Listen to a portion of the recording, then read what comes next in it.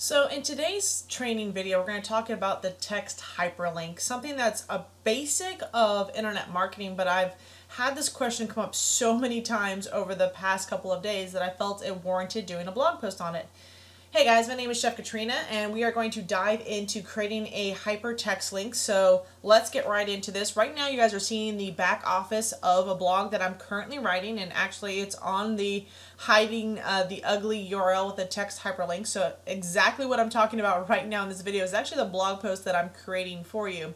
So I want you to understand that all of us go through this. This is a process we're all learning. Not all of us come into the internet marketing world or the online world and know all the lingo. It, it's really hard to to learn it. It's it's definitely uh, not something that comes naturally. It's like learning a foreign language. So I totally get that. And in this blog post, you'll see that I talk about it like we're you know what are widgets, hyperlinks, themes, plugins, sidebars, above the fold. I mean, there's so much terminology that it can get extremely overwhelming, right?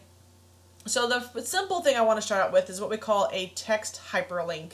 And really what this does is that inside of here, you'll see I, have created this content uh, where we talk about like, hey, could you imagine reading a blog post where the author is talking about blankety blank, and then they have this really long URL that they want you to click on, and uh, you're like, it just interrupts the flow. Like you can kind of see it, it just kind of doesn't seem natural, right?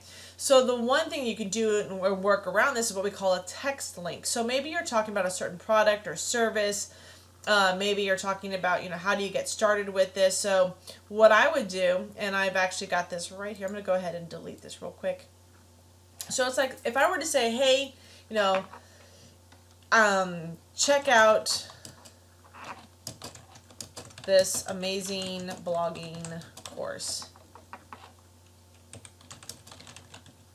Right? And so I just I, I just want to make it feel natural. Like I don't want to feel like I'm selling something separate. So this amazing blogging course is something maybe I would highlight. And then right up here there's this insert or edit the link.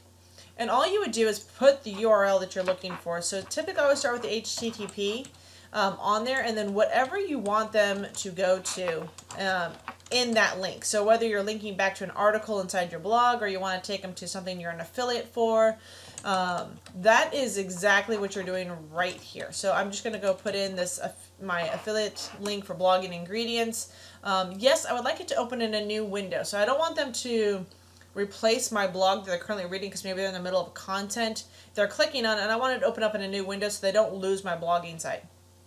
So I'm going to say it's open up in a new window and then really all I'm going to do is just hit the return button. And as you can see, it's basically highlighted this now and it's put the hyperlink in there. So that's a real easy way to create a natural looking content, right? So not only am I sharing uh, maybe some information or a book or a product or service, but now it just seems like uh, flows organically in the post. It doesn't seem like it's all outright sharing or promoting.